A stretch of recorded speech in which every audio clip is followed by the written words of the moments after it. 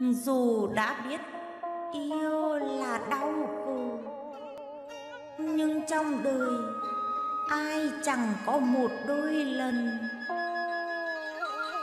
Tôi muốn nói câu chuyện tình xa cách. Nắng mưa nhiều, thấm lạnh cả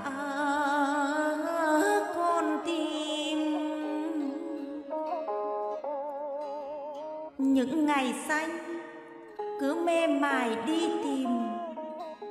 Nửa thiếu vắng, nổi chìm trong tâm tường. Tôi gặp em từ mùa đông năm trước.